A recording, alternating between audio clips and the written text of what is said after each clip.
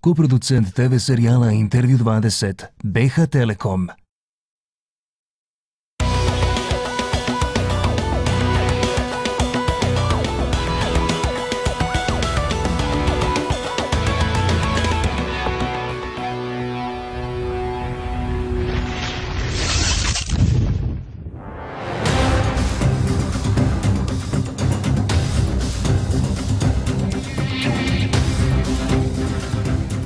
Kada se za nekog zvaničnika u Bosni i Hercegovini govori i piše da je to onaj koji se miješa u svoj posao, onda to znači da taj zvaničnik u istinu vrijedno radi.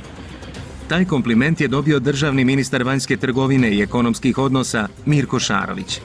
Otkako je preuzeo dužnost, Šarović ima jasne ciljeve, planove i načine kako da ostvari ono što želi, a sve što želi se može potpisati pod vrlo vidljiv napredak Bosne i Hercegovine. Iskreno iskazuje zadovoljstvo i sreću zbog ispunjenih uslova za izvoz bosansko-hercegovačkog mlijeka u države Europske unije, ali na tome nije stao. Mirko Šarović ide dalje, pa sada vrijedno radi da BiH dobije i mogućnost izvoza mesa, peradi i konzumnih jaja. Želja mu je da u ovom ministarskom mandatu uradi što više, pa mu stoga nisu teška ni naporna putovanja, ni kasna snimanja, ni sastanci, ni konferencije, ni pregovori. Najvažniji za Šarovića je konkretan rad. Mirko Šarović otvoreno je govorio u ovom izdanju emisije Intervju 20 i o tome zašto je Vijeće ministara BiH prvobitno sakrilo informaciju o usvajanju mehanizma koordinacije, zbog čega mehanizam još uvijek nije do kraja usaglašen, koliko još situacija kao što je slučaj Bobar banke može da podnese Agencija za osiguranje depozita BiH, koje ugovore će naša država potpisati za dvije velike investicije na predstojećem biznis forumu koji se 4. i 5. maja održava u Sarajevu. Ostanite zato sada uz BHT1, jer slijedi iznimno zanimljivo izdanje emisije Intervju 20 sa ministrom vanjske trgovine i ekonomskih odnosa BiH Mirkom Šarovićem. Dragi gledatelji, želim vam dobrodošlicu u emisiju Intervju 20. U ovom izdanju moj vaš gost je ministar vanjske trgovine i ekonomskih odnosa Bosne i Hercegovine, gospodin Mirko Šarović. Hvala vam lijepa što ste gost televizije Bosne i Hercegovine i TV serijala Intervju 20. Hvala vam na pozivu pri početak ovog snimanja prisjetili smo se e, kada smo zadnji put razgovarali u 2002. godine kada ste vi izabrani za člana predsjedništva, pa mnogo godina je prošlo od tada. Pa koliko? 14, skoro stvari, 13 i pol godina. E, što sada znate, a tada niste znali?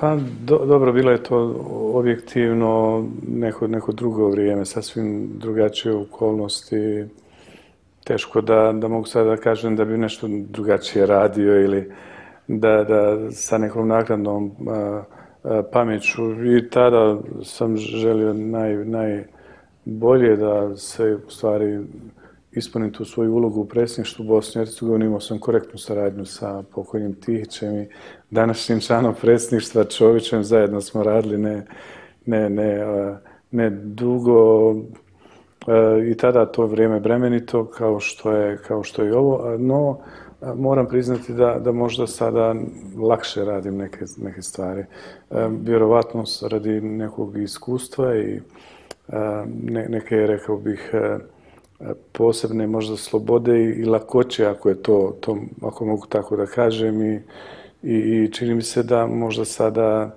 mogu da ostvarim bolje i više rezultata nego što je to bilo tada. A kako biste ocijenili, evo još to pitanje da se zadržimo malo da napravimo paralelu između prošlosti i sadašnjosti, kako biste tadašnju situaciju u Bosni i Hercegovini, gospodine Šarović, ocijenili, a kako danas vidite sve ovo?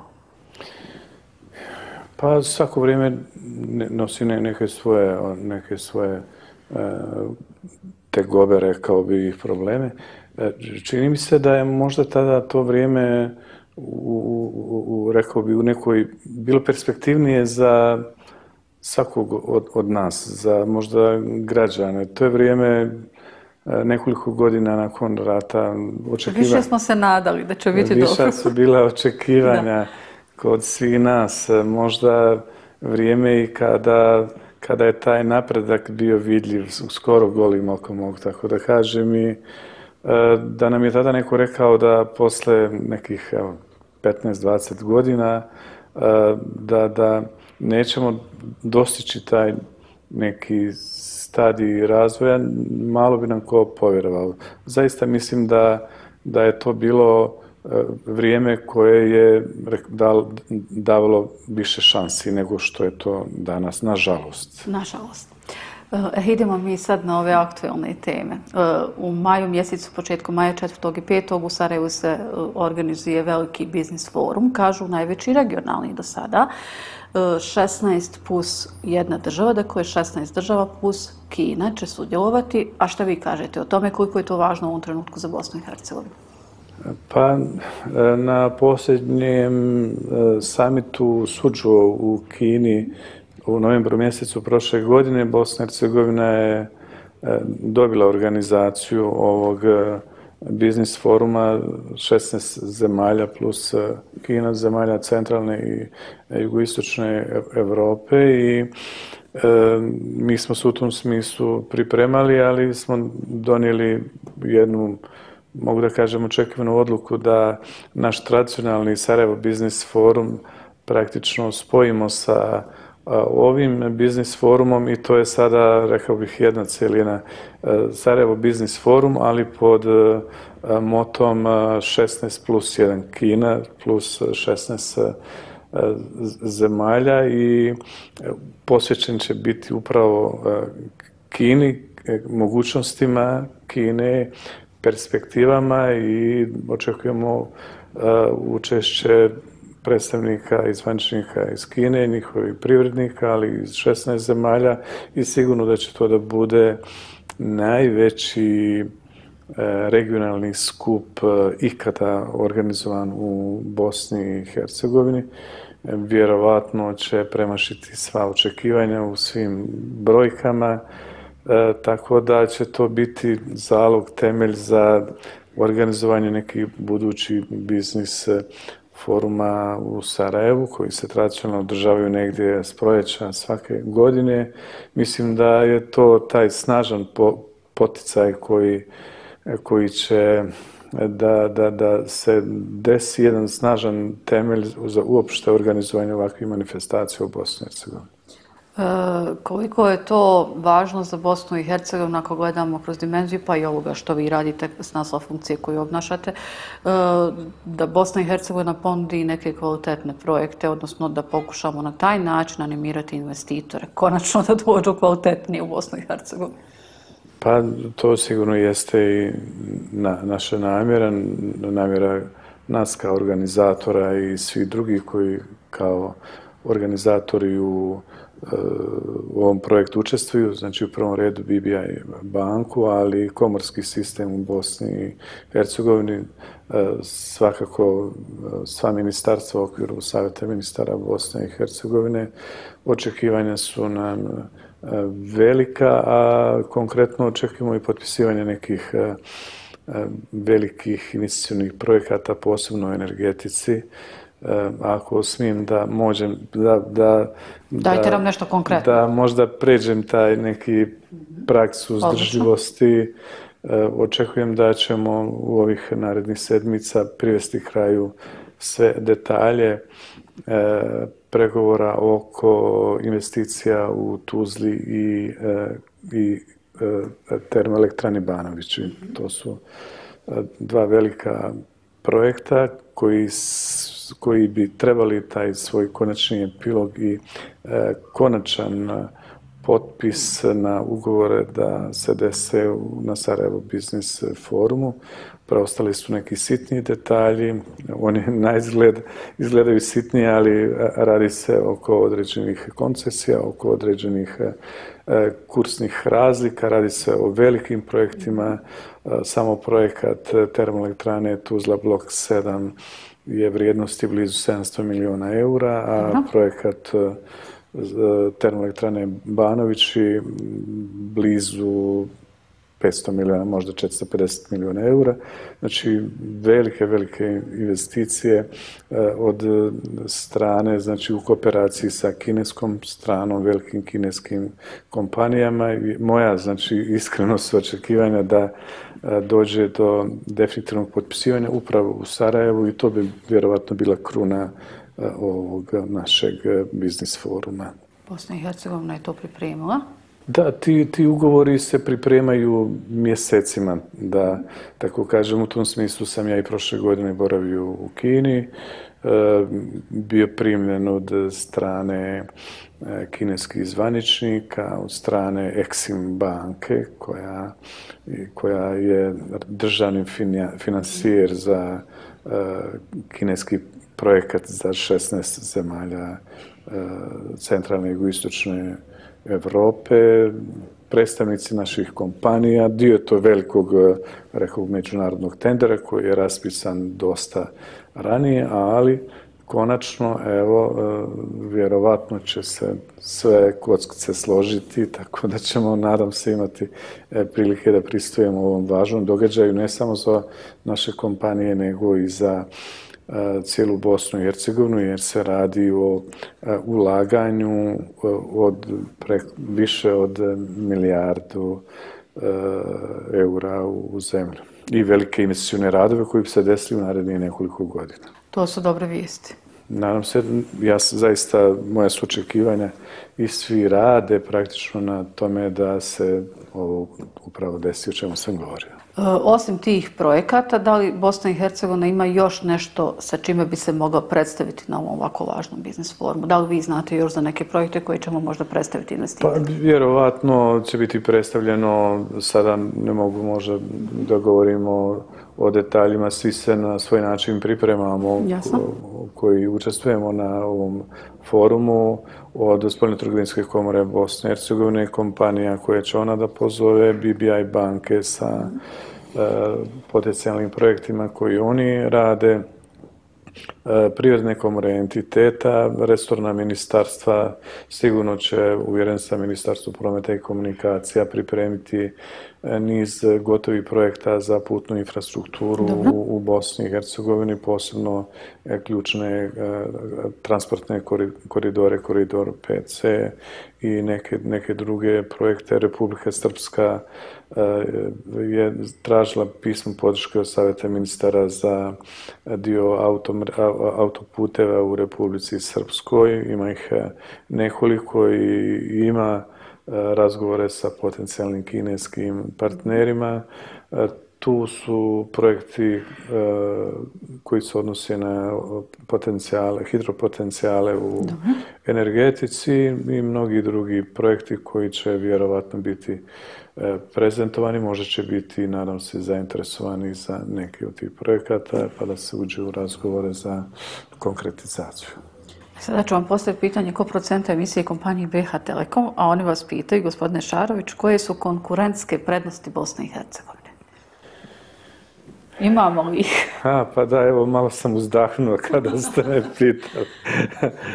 pa imamo ih, iako na, na, na žalost, ondje gdje bi trebali da budemo naj, najbolji ili da budemo ravni, E, u, u, sa regionom, tu, tu nismo najbolji. A, a, to, a zašto? A ti, ti uslovi ili konkurentnost zavisi samo od nas.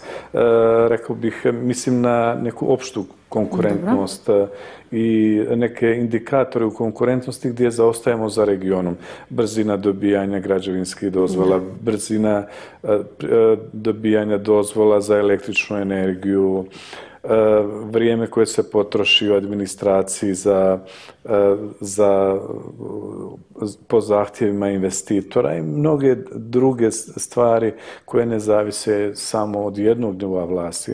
Absolutno. Radi se o, o, o, o nivoima i, i lokalnom i entitetskom i e, državnom i u tome u regionu bjeljivo najbolja Makedonija. Mi yes, smo na samom, za sat registruju da, mi smo na samom za, začelju i to samo zavisi od, od nas. Znači, e, i to je neoprostivo. To je, to je pitanje e, same vlasti, strukture vlasti, administracije, e, koja bi sve procedure trebala da ubrza i da tu opštu konkurentnost, ali i lakoću poslovanja za, za potencijalne investitore da učinimo konkurentnom. U više navrata sam govorio da, obzirom na specifičnosti Bosne i Hercegovine, na e, njenu e, e, regionalnu postavljenost i nije na ruti tih ključnih saobraćajnih koridora da bi određen investitor uložio svoj novac u Bosnu i Hercegovinu, da li,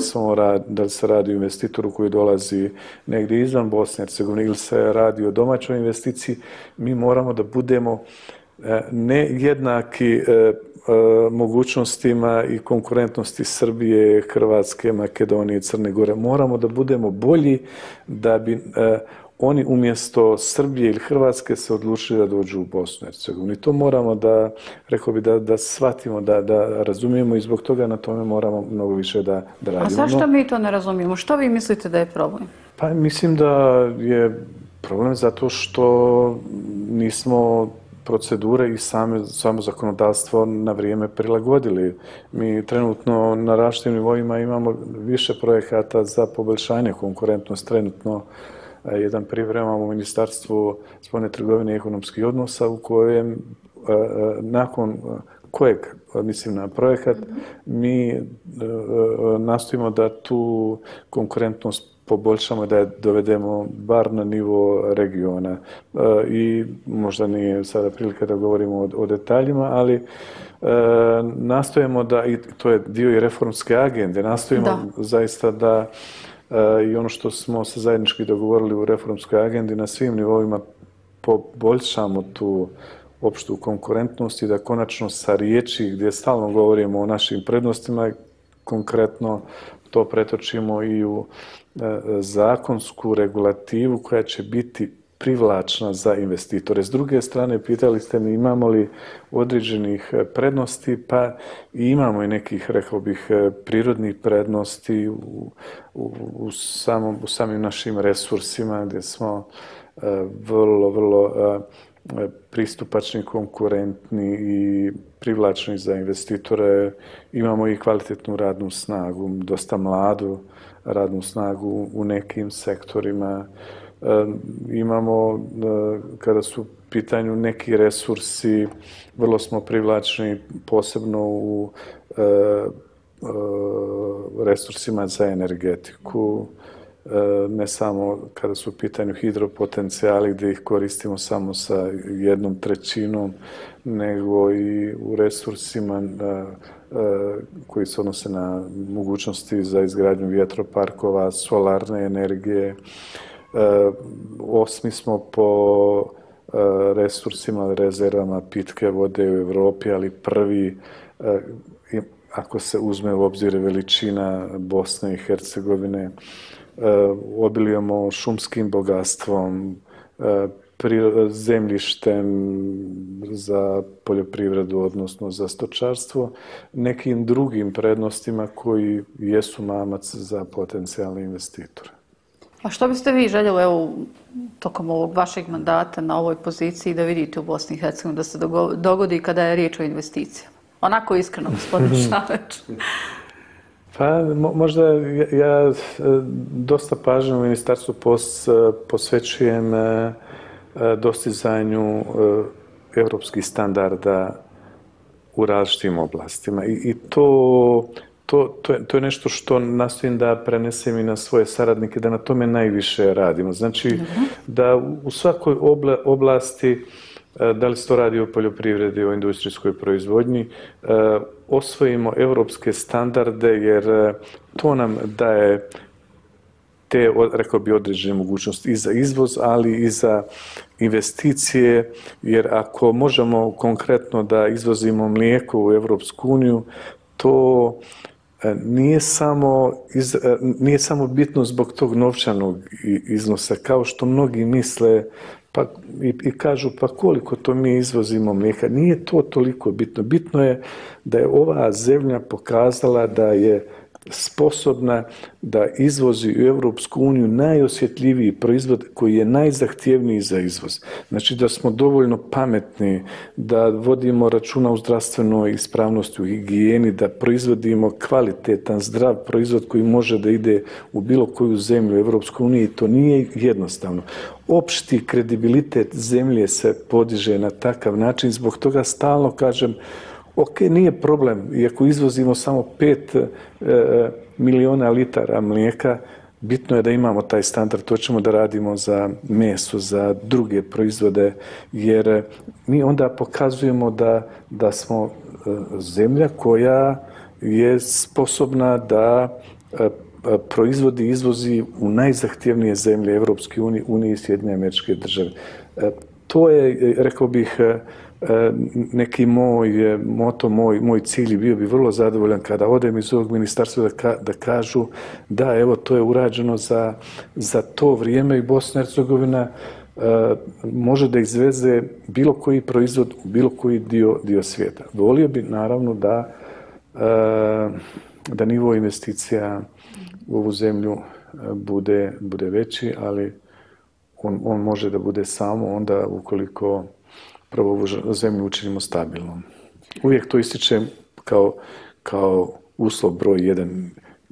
Nisu tek na red, posle toga dolaze neki drugi uslovi. Znači, stabilne institucije, stabilna zemlja i predvidivost poslovanja. Onaj ko ulaže svoju marku ovdje, on hoće da zna ako je uloži sada, da za deset godina da on može da predvidi da će moći ovdje normalno da posluje, da ga neće istirati, da mu neće oduzeti licencu, da ga neće prevariti, da su zakoni isti, da neće biti gori nego da će da se uh, unapređuju. I to je također nešto što u našoj svijesti moramo da, da, da, da shvatimo. To je vrlo važno, znači da ovu zemlju učinimo stabilnom, da bi sutra neko u nju mogao da investira svoj novac. O, o, također, ova zemlja mora da ima stabilne institucije. Ako mi... Imamo li? Pa... Što vi mislite, evo, iskreno? Vrtim, vrtim glavom, mo, možda, možda, možda mogu da kažem da sad, za, za, za sada održavamo tu stabilnost. Iako je ona uvijek krhka, ranjiva, ali mi moramo je učiniti, znači institucije moramo učiniti e, stabilnim i to je, nije to bitno ko, je, ko čini te institucije, koja stranka, ali one moraju da budu stabilne, od izbora do izbora. A tek na trećem mjestu dolaze ovi neki drugi uslovi, kvalitetni zakoni, e, konkurentnost o kojoj smo pričali, sve, sve, sve nešto drugo. Znači, ako pitali ste me, rekao sam šta bi, šta bi volio i kad su pitanju investicije, volio bi da e, u Bosni i Hercegovini imamo na godišnjem nivou bar e, bar jednu, jednu i po milijardu e, eura investicija na godišnjem nivou i toliki iznos investicija e, e, bi garantovao jedan, jedan značajan napredak zemlje e, i kontinuitet i e, mogućnost da sigurno možemo da, da računamo o, o perspektivi ove zemlje. Znači, Kada ćemo imati to? Što vi mislite? Pa, sve ove godine su sa investicijama vrlo slabe. One se mjere sa nekoliko stotina miliona konvertibilnih maraka. To je malo. Znači, to dramatično moramo promijeniti. Ja mislim da novca ima sasvim dovoljno, ali je do nas e, da ga bude više. Dijelom sam o tome pričao malo časa. E, vi ste ministar vanjske trgovine i ekonomskih odnosa. Ekonomski odnos. E, kakvi su nam ekonomski odnosi, gospodine Šaroviću? Moram da vam postavim jedno pitanje. E, aktuelno, u Bosni i Hercegovini strašna vijest u kojoj smo svjedočili svi 123 miliona. Ovo Bobar banka i tako dalje. Pa vidjet ćemo vjerovatno kroz ovu istragu koja, za koju se nadam da će da bude e, ozbiljna, e, da bude profesionalna, da bude u interesu e, e, ovog društva, da se po tom pitanju taj politički element potpuno izbaci. Ukoliko to tako bude, vjerovatno ćemo E, doći do ovih podataka i činjenica o kojima ste vi govorili, znači je li 123 miliona nestalo ili su eventualno tolike štete, ali očito da, da je urušen bankarski sistem a, Republike Srpske, a ozbiljno a, to može da ima implikacije na cijeli bankarski sistem Bosne i Hercegovine. E, i nažalost susrećemo se sada sa posljedicama, iako smo vjerovatno u nekom ranijem periodu trebali preventivno da djelujemo praktično e, mi, mi skoro da je možda imamo jednu ili dvije banke koje nisu načete sada ovim jednim opasnim procesom urušavanja bankarskog sistema u Republici Srpskoj. Ukoliko ove stvari ne isteramo na čistac, zaista sam pesimista. Već jedna institucija, mislim, agencija za osiguranje depozita je u potpunosti uzdrmana. Moja je procena, ja nisam ni pozvan da Dobro. dajem, jasno, jasno, da dajem tu informaciju, niti mm, imam namjeru da da bilo šta mm, e, iz toga drugo izlačim, ali moja je znači procena da je e, Agencija za osiguranje depozita Bosne i Hercegovine više nesposobna da isprati bilo kakav slučaj kao što je to slučaj sa Bobar bankom. Namireni su e, depoziti, mali depoziti do 50.000 konvertibilnih maraka iz Bobar banke. E, međutim, bilo koji sljedeći udar, ja mislim da ova agencija više ne, nije sposobna da to prati. Ja bi bio zadovoljan da ne, bude da ne budemo u pravu, ali ja mislim da jeste i to je možda nešto što jasno treba da, da imamo na umu i to je jedna od posljedica uopšte e, ovakvog stanja u bankarskom sektoru u Republici Srpskoj i nepreduzimanja odgovarajućih mjera Eh, u vrijeme kada je to trebalo eh, da se čini i da se radi. Znači, ta, ta vjerovatno sada, to je stvar istrage, ali vjerovatno nebudnost eh, određenih institucija, pogotovo agencije za bankarstvo Bosne i Hercegovine, dovela do, do, rekao bih, ovog epiloga. A agencija za bankarstvo Republike Srpske, praktično svaku banku na rentgenu ima dnevno. Znači, nemoguće je da se određeni procesi eh, u bankama dešavaju, a da agencija za bankarstvo to ne zna. Mislim da je to naprosto nije moguće. E, sad kada ste to rekli, ja ću vas podsjetiti na intervju koji sam radila, dakle, e, sa guvernerom Centralne banke Bosne i Hercegovine u januaru 2015. godine. Tad se već znao za Bobar banku. E, I moje pitanje je bilo, pa šta radi Agencija za bankarstvo Republike Srpske ako se dogodi to? Je li valjda prate šta rade banke yes. i znaju šta se dešava. Od tad, gospodine Šarović, do danas je prošlo dakle, više od godinu dana, godina i dva, tri mjeseca. E, I tek sada se pokrijeće pitanje zapravo odgovornosti Agencije za bankarstvo i drugih institucija koje su morale znati šta se dešava. Da li je to absurdno? Da evo novinari postavljaju ta pitanja, a da zapravo vlast koja je nadležna da to prati i da rješava nije reagirala? Pa, absurdno jeste i propustili smo, e, e, mnogi su propustili neke prilike ranije da štete budu manje. Znači, možda ćemo sada mi imati i sudski epilog e, ovog slučaja i vjerovatno sa određenim sankcijama prema određenim ličnostima, ali šteta, štetu vjerovatno ne možemo nadoknati ili e, ako hoćete još da možda budem precizniji, e, šteta 2016. godine mnogo veća nego što bi eventualno bile da smo reagovali prije godinu dana, možda 2015. I tada bi bila e, od šteta, ali vjerovatno ne ovolika kao što je sada. Koliko je vlast u Republici Srpskoj zapravo vlada, evo da budem sasvim konkretno odgovorna zbog ovoga što se dogodilo? Što vi mislite? Pa, što je vaš stav o tome? Ja mislim da da ne, ne možemo govoriti o tome da nisu odgovorni. Svakako jesu. Mislim da je Agencija za bankarstvo pod apsolutno njihovom kontrolom i kao sama agencija i personalno sastav unutar agencije i investicijon razvojna banka i e, cijeli bankarski sektor e, je Mm, apsolutno pod kišobranom vlade Republike Srpske i mislim da, da su morali ranije mnogo energičnije da reaguju nego što se peru od odgovornosti. i Mislim da, da je to loše, loša varijanta da se stalno bježi od odgovornosti umjesto da su predstavili određene mjere i nije toliko bitno da li se te mjere preduzimaju protiv kadrova koji dolaze iz te političke opcije. Mislim da bi mnogo pametnije bilo da su na vrijeme, da na, na vrijeme reagovali.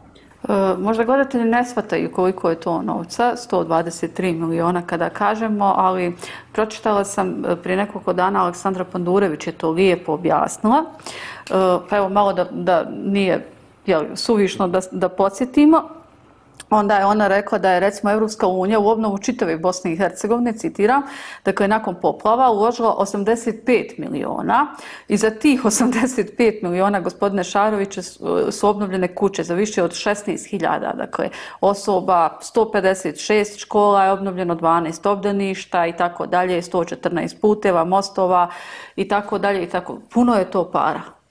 Pa jeste, to je to je šteta izražena u količini novca i ona može da, da se izmjeri vjerovatno ni sada nije precizna čak i u e, izvještaju tužilaštva vjerovatno će se te cifre i brojke mijenjati i e, ne bi možda i ne, i ne želim da sad licitiram koliko je to novca. No ja mislim da je šteta mnogo veća u, u nečem drugom. U, u, mislim da je u posljednju godini dana strašno poraslo nepre, nepovjerenje prema bankarskom sektoru da.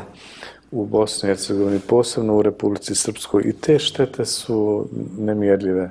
E, rekao bih panika i odliv deponenata, nesigurnost i to je nešto koje, što jeste posljedica svega Jasne. ovog što se dešavalo i ja možda dajem akcenat na, na tu vrstu jedne štete koja uopšte ima reperkusiju na uopšte ne samo na bankarski sektor, nego i na finansijski, odnosno ekonomski sektor u cijeloj zemlji.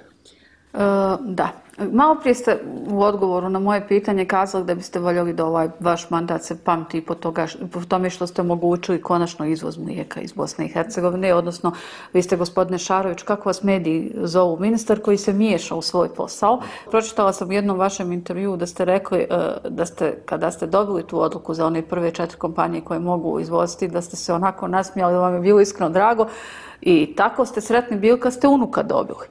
E sad vas ja pitam, da li ste svjesni, gospodine Šaroviću, koliko, je, koliko, su, koliko ste sreće donijeli, evo da tako kažemo, mliječnu industriju u Bosni i Hercegovini? Osjećao sam se da sam ispunio neku svoju misiju, jer, jer i, i suština je nekog e, e mog rada ovdje da donesem uspjeh. Ja, ja, ja bi lagao ako bi rekao da nemam ambiciju. Znači, naprosto, ja mislim da je ambicija potrebna svakom. Ako, čovjek bez ambicije, čovjek nije za, za, za posao. Ja ne želim ovdje da prespavam to, to vrijeme. Znači, ta ambicija da uspijem me ovaj drži i, i nosi i vrlo sam u tom smislu, ako mogu da kažem, pozitivno ambiciozan uh, i, ali ta ambicija ima mjeru i ta ambicija ima, rekao bi, taj opšti karakter i vrlo sam zadovoljan kad uh, E, osjećam da,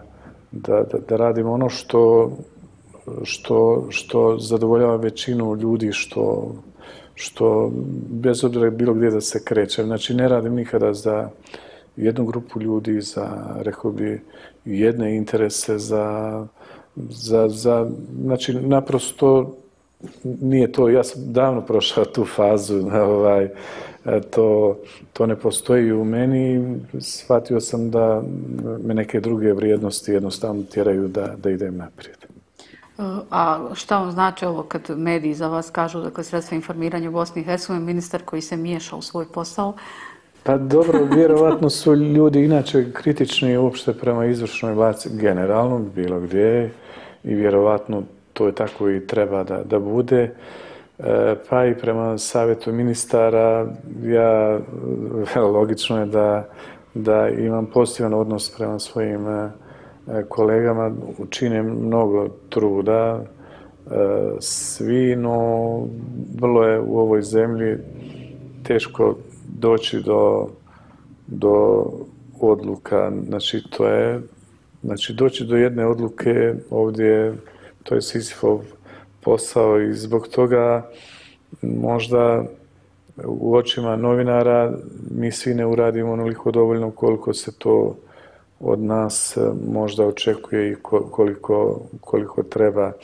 E, naprosto zbog tog što kada, kada ne bi bilo tih određenih e, e, barijera, mi bi vjerovatno mogli da napravimo revoluciju kada su u pitanju odluke. Ja, ja sam uvjeren, ja znam šta bi radio kada ne bi imao znači, neke stege, neke prepreke, neke stvari, e, čekanje, vrijeme, sve ostalo. Šta biste radili?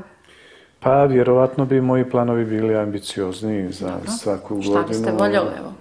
Pa, a, jednostavno, brzina, znači za svako, za, sve ovo, da. za svako ovo pitanje koje ja donesem na sjednicu savjeta ministara, a, treba mi trebaju mjesec, ja bih volio da to budu dani i sedmice, to je logično.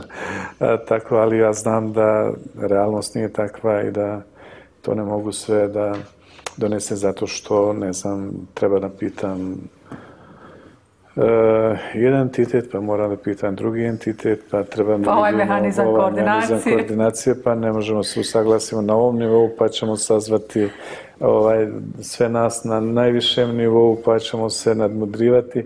To je sve tako, ja to ne mogu promijeniti, vjerovatno, ali, ali uh, ja samo, znači, šta mislim da je moguće, to je da da te odluke donosimo brže. Pa makar se i usaglašavali, ok, u redu, takav, takva je zemlja, ne možemo to promijeniti niko od nas, ali umjesto tri mjeseca da kažemo to je neki kraći rok, svima bi nam bilo bolje. Eto, to je to. E, ovaj mehanizam koordinacije, vi ste bili na ovoj sjednici kad je usvojen yes. tajno. Pa što tajno, gospodine Šarović? Pa nije, nije bio tajno. Naprosto možda nije bilo prostora da se ovaj, objasni da to nije bilo uopšte tajno, niti je bilo bilo kakva namjera da to se donese tajno. Možda da smo malo bili mudri pod navocima, tako da kažem, sada iz ove perspektive e, e, ja bi radio drugačije, vjerovatno i, i moje kolege, ali namjera je bila, ako mogu tako da je nazovem, poštena. Znači nije, nije bila, zašto bi bila tajna? Mi smo jednostavno uh, pricnuti uh, rokovima za predaju aplikacije usvojili jedan mehanizam koordinacije i onda se dogovorili da Zvizdić ode u Banja Luku sa Novalićem i da to tekst usaglasi sa, sa uh, gospođom Željkom Cvijanović iz premijerom federacije i da kad napravi određene izmjena, dali smo Zvizdiću Bjanko uh, zeleno svjetlo da se usaglasi, da dođe ponovo u savjet ministara i da ako ima korekcija da ih usaglasimo. Da ne bi izazvali revolt i u federaciji, a posebno u Republici Dobre. Srpskoj, da smo mi neki dokument donijeli, a da se prethodno nismo usaglasili, dogovorili smo se, ajde neka ovo što smo usvojili na savjetu ministara bude polazna osnova, ono što će da ponese Zvizdić u Banja Luku i da to ne, ne iritiramo bilo kog i da ne objavljamo. To je naprosto bio osnovni motiv da stvorimo priliku Zviziću da sa Novalićem i Cvijanović Željkom do, to usaglasi. Ali. Međutim, novinari su, to nije, nije, jednostavno nismo to objavljivali, ali nismo to krili. O, novinari su znali da smo mi usvojili taj je, Saznali tekst. smo i službenog lista kad je objavljeno, je li tako? E, naknadno, posle, jeste, e, ali je samo ovo da objasnim. Znači, e, onda su novinari to nazvali tajnom sjednicom. To je bila i javna sjednica, znači, samo e, to nismo objavljivali, ali smo, kada smo objavili u službenom glasniku, Čović je morao da, pošto nije posebno dogovor između Željke Cvjanović, Novalića i Zvizdića u konačnom no. tekstu, Čović je morao da putuje u Brisel i on je morao nešto da ponese.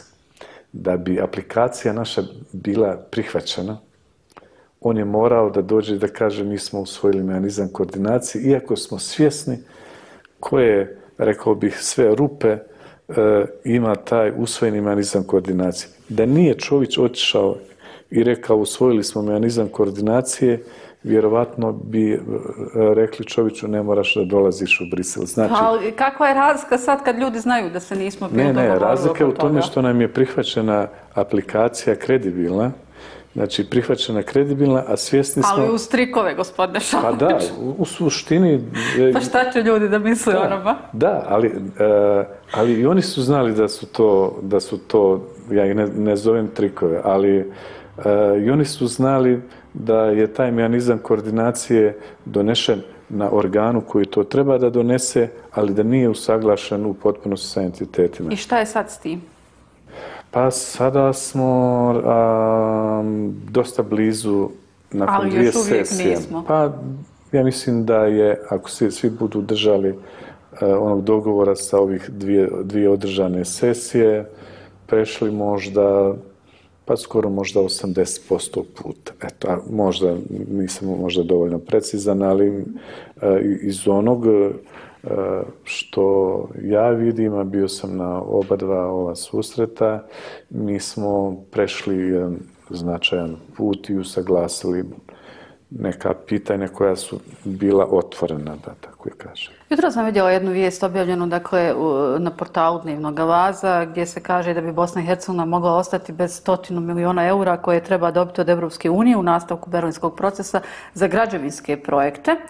E, jer nemamo izraženu državnu strategiju za infrastrukturu, a kažu da nemamo to zato što nema podrške Republike Srpske, zato što oni nisu dali kao saglasnost, jer navode na povjerenje u državnu vlast zbog o, ishitrene, citiram, objavene usaglašnog mehanizma koordinacije. Vidite koliko nam to problema stvara? E, pa ja mislim da bi vjerovatno i da imamo usaglašan mehanizam koordinacije, vjerovatno kaskali oko ovih određenih dokumenta. Vjerovatno on sada mehanizam koordinacije dobar izgovor, iako podrazumijeva se, volio bi da imamo potpuno usaglašen mehanizam koordinacije, jer on jedino može da funkcioniše ako je usaglašen i u Federaciji, u Republike Srpskoj i na državnom nivou u jedinstvenom tekstu. E, na prošlom samitu u Beču prošle godine, na kojem sam bio i ja, Evropska komisija je dozvolila Bosni i Hercegovini da bude dio rješenja u transportnoj infrastrukturi, da dobijemo određena sredstva, zato što smo tada uspjeli da usvojimo e, transportnu politiku. Niži dokument od strategije i e, prihvaćeno je to i to je protumačeno kao napredak Bosne i Hercegovine u obezbiđenju nekih ključnih e, e dokumenta iz oblasti e, energetike i transporta. No, za proces za summit u Parizu, koji će da bude u početkom jula mjeseca ove godine, Evropska komisija traži da Bosna i Hercegovina usvoji transportnu strategiju, ukoliko misli da, da jedan dio projekata sa ove osnovne putne mreže uđe u ove regionalne projekte i čini se ovih eh, dana napori da dođemo do energetske strategije. Mm, ukoliko bude dobre volje, mislim da, da ćemo je dobiti. Nadam se da će svi prepoznati interes da, E, da, i da daju svoj doprinos da odemo u Pariz i da sa te osnovne liste od 30 projekata Bosna i Hercegovina povuče 100-150 miliona eura za regionalne projekte. Ne sama, naravno, sve su to regionalni projekti koji su već, koji su već nalaze na, na, na listi, samo će se probrati oni koji su najspremni, koji su, koji su isprojektovani, koji imaju odgovarajuće uh, dozvole, koji saglasnosti iza koji stoje međunarodne finansijske institucije i koji ima tu, rekao bi, Uh, oznaku A spremnosti za, za finansiranje. Nadati se da će tako biti, jel vidjet ćemo? Pa, nadam se, mislim da je to interes, ne, ovo, ovo je bilo koji projekat uh, u koji će da se, u kojem će da se govori u Parizu, on će koristiti ili građanima ili Federacije ili Republike Srpske, znači... Da Pa građani vjerovatno i žele te projekte. Tako je, jel to tako? ne- ne, nisu- Ali građane niko ništa ne pita. jel? Pa dobro, Ima i je, ta. tako je, ovaj, građani to žele bez obzira da li žive u tako je, Trebinju pa ili u tako Banjoj je, Luci ili u Prijedoru, tako je. Sarajevu, Mostaru, sasvim Tako. sve jedno. Svi mi želimo bolje živote, bolje Tako ceste, je. sve bolje infrastrukturu, Tako dakle je. komplet. E, idemo mi dalje. E, zakon o plavom dizelu upućeni u proceduru. E, postoje sve potrebne saglasnosti. Nadam se da će da dobije zeleno svjetlo prvo u savjetu ministara, a već je jednom dobio kao, inc- in- kao inicijativa. Savjet ministara to podržao i onda u parlamentarnu skupštinu. Uvjeti za izvoz mesa, peradi, konzumnih jaja. Mm, To je naš sljedeći veliki izazov. e, Zato sam vas to pitala. Da, mnogo posla smo uradili, u Sjeni radimo, imamo akcijni plan, ispunjavamo ga mm, brzo, uvjeren sam, ili relativno brzo ćemo biti u stanju da kažemo da smo najveći dio posla uradili, ne samo u, u, državnim institucijama, ne samo kada je u pitanju zakonodavstvo, nego i kada su u pitanju objekti za izvoz, znači farme, prerađivački kapaciteti, e, sistem kontrole od strane kantona, entiteta i tako dalje. I uvjeren sam da ćemo steći uslove da u 2016. godini pozovemo inspekciju iz Dublina da pregleda naše objekte i da dobijemo izvoz za meso, peradi, prerađevine od mesa, peradi i konzumna jaja koja su nešto malo zahtjevnija. Dobro, izvoz mesa u Tursku. Nastavit ćemo. Pa ja mislim da hoćemo. Riješit ćemo ove probleme. Pa mi smo problema imali konstantno zbog eh, različitih zloupotreba u, u ovom Da. sektoru. E, Nastojimo, pregovaramo sa turskom stranom i otvorili smo to poglavlje da ovu kvotu za izvoz eh, mesa u Tursku e, stavimo u sporazum o slobodnoj trgovini sa ovom zemljom kao poseban aneks i da ta kvota bude stalna, a ne da se produžava iz godine u godinu.